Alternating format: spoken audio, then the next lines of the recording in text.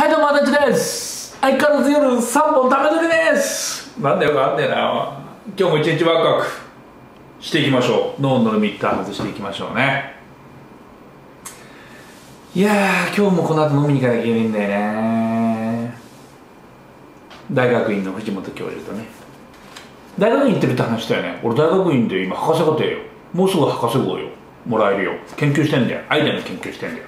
まあそれはどうでもいいや。また今度ゆっくり話します。行ってみましょうか。名言これで行ってみましょう。ああこれいい名言いたくよくよしている自分なんて笑ってしまおう。落ち込んだ時はとにかく動こう。いいね。田中角栄。マッソのとかいう。ものまねなんか今もう誰もわかんないよね。田中角栄。それだしんだよね。日本のねあの有名な田中角栄さんですよね。若い人は知らないのかな田中角栄な。俺も子供の頃だったけどね。くよくよしている自分なんて笑ってしまおう。押し込んだ時はとにかく動こう。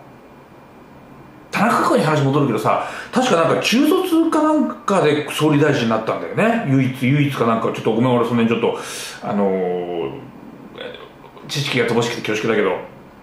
あのこう関係ねえ俺は総理大臣になるっつってなったんだろうね。その東大法学部とかさ出てなくったってさ関係ねえよみたいなさ。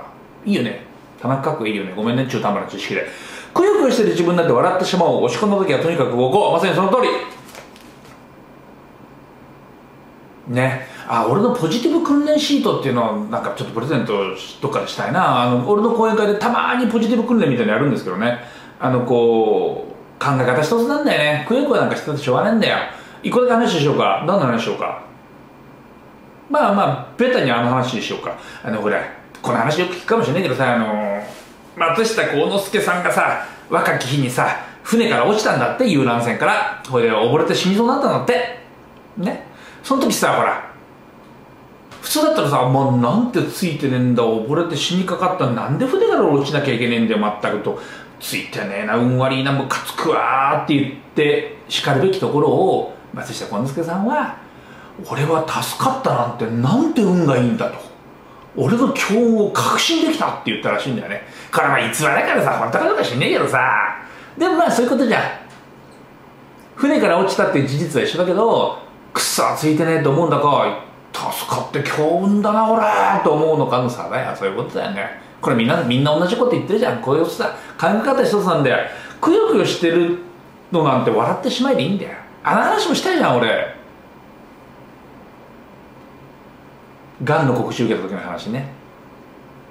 がんの告知受けて落ち込まねえでラッキーめっちゃこんな面白い体験ねえぜって思ったって話したじゃない？また今度するけどさ。それでいこう。くよくよなんかしてたらダメよ。うん。笑い飛ばしてで落ち込んだ時はとにかく動く動く。これも大切。落ち込んだ時にああどうしようああどうしようって座ってこう思ってるとどんどん気分打つんだっていうかね。うつな気分にね。その時はもうね関係なく動き出す。あちこちバッチンバッチンぶつかって動き出せやなんかぶつかってくるから。しかもなんか動いてるうちは忘れんじゃん。くよくよしてる気分。だからもう落ち込んでる時、うん、落ち込んでる時はもうバンバン動く。いつも以上に動く。くだらないことガンガンする。そしたら面白い運気が必ずやってきます。立ち止まってないで動けずに。それが大事。頑張っていきましょう。私でした。